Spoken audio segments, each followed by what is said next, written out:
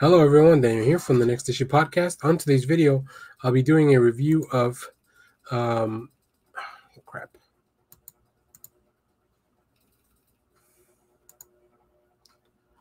Hello everyone, Daniel here from the Next Issue Podcast. On today's video, I'll be doing a review of Bylines in Blood.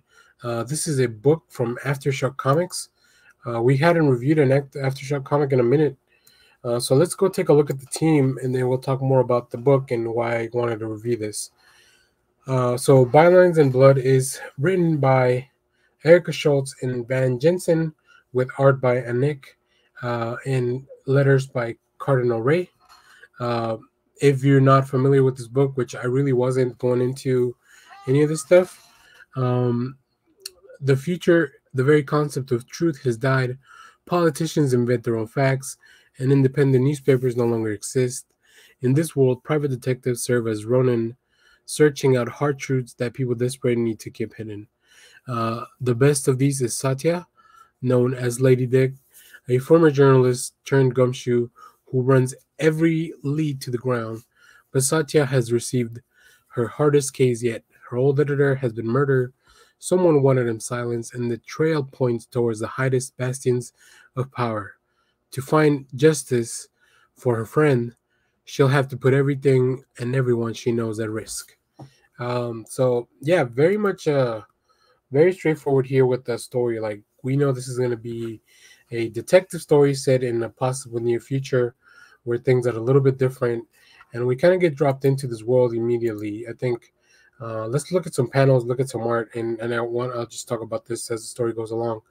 Um, I do want to mention that the art and the colors here, like they feel kind of like uh cyberpunkish, neo noir. Like I don't know, it gives me those type of vibes, those type of feels. Uh, I, you know, you're in the middle of a city, but there's stuff here like it almost feels also like like uh, I get a lot of Blade Runner, um, Blade Runner and Blade Runner 2049 vibes, stuff like that. So that's kind of how I took it going in. Um, but as the story kind of builds. Uh, we see here we meet uh, as she's looking for um, someone. She sneaks into a club, probably just somebody that like one of the elites, uh, kids or something that got out of uh, got out of hand. Maybe she had been missing for a little while. I think they mentioned that uh, it was she pretended to be kidnapped. Uh, obviously, she's not because she's at a club.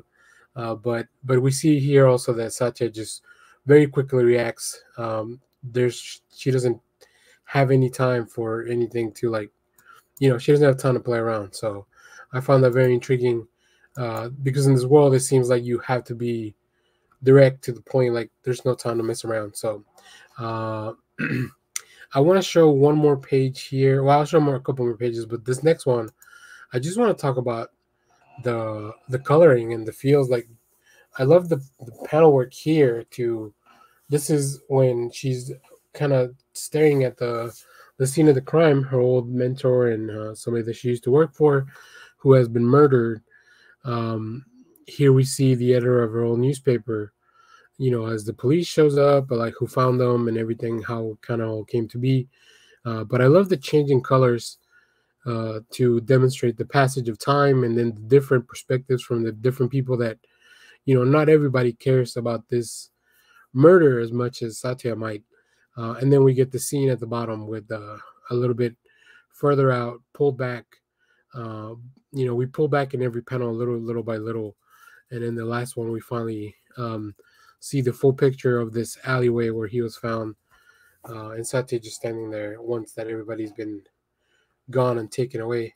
So I really like that kind of work. I, I think it just it makes the pacing for the book very well as you're kind of reading through the narration. Like it does feel like things are happening, things are moving.